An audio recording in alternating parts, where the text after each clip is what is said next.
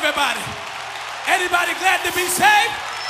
Say, thank God I'm saved. Slap somebody high five and say, He saved me.